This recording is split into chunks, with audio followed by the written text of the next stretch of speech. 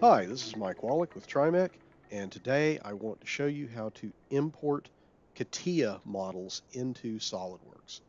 So here I have a CATIA model in CATIA V5, and I want to bring this into SOLIDWORKS. The first method I want to show you is a great solution if you have SOLIDWORKS Premium, which I do. So I'm going to go to Options, import. And on the general page, I want to make sure enable 3D interconnect is on. Now this is the default setting. 3D interconnect, in addition to allowing you to bring in neutral format files like Parasolid files, step files, IGES files, it also allows you to open non-native files like CATIA files. But for CATIA, you have to have SOLIDWORKS Premium. So with 3D Interconnect enabled, I'm going to go to open this cat part and it will begin reading the model. And yes, I do want to run import diagnostics. I have no faulty faces or gaps. I'm going to go ahead and hide these two default planes it brought in, but first let's look at the structure that it attached. So the CATIA part file is linked as the imported body in a SOLIDWORKS file. So we've got a solid body that's been imported along with a couple of reference planes. I don't really need to see those reference planes, so I'll go ahead and hide those.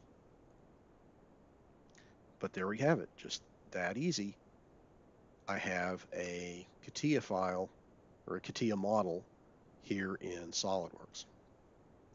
Now, this link is being maintained to the original CATIA model. So late, later, if that part gets updated in CATIA, I could update it here in SOLIDWORKS as well.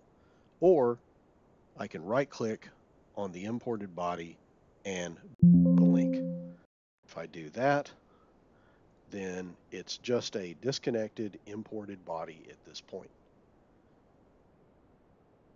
Now, let's take a look at how to import a CATIA model if you don't have SOLIDWORKS Premium. So I'm going to go close this one.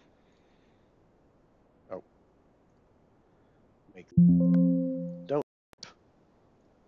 And back to CATIA. Well, I can't directly open a CATIA file if I don't have SOLIDWORKS Premium.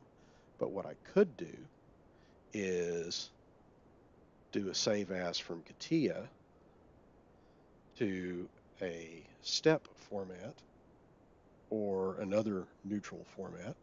I'm just going to go ahead and use step.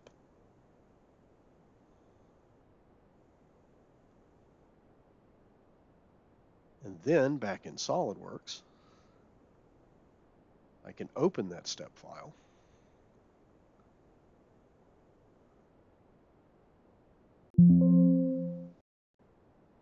And it imports and 3D Interconnect is still on. So see we have maintained that link to the step file with the solid bodies folder, although this time we didn't get those reference planes. And I can break the link like before. And there you have it, two ways to get CATIA parts into SOLIDWORKS. Thanks, and have a good day.